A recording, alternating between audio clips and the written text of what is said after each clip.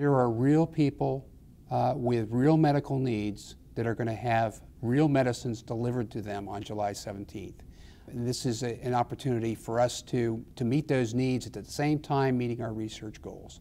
The Mid-Atlantic Aviation Partnership is a partnership between the states of New Jersey, Maryland, and Virginia, led by Virginia Tech, to integrate unmanned aircraft systems into the national airspace system and also to develop the industry within those three states.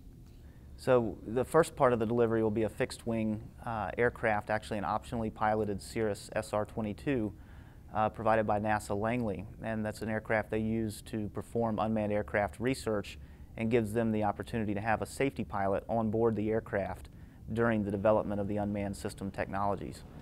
The NASA SR-22 is responsible for the long haul portion of this medical delivery application. It'll carry the supplies uh, the long distance where a fixed wing aircraft is best suited. Once arriving at Lonesome Pine Airport, the SR-22 will transfer its, its payload to the smaller uh, unmanned multi-rotor aircraft designed by Flirtey.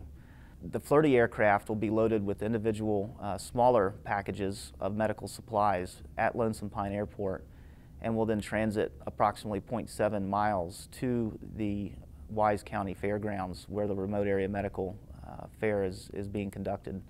As soon as Let's Fly Wisely is over, I, I hope that our phone is ringing off the hook uh, with people that want to partner with us to help us move forward this industry in Virginia and beyond.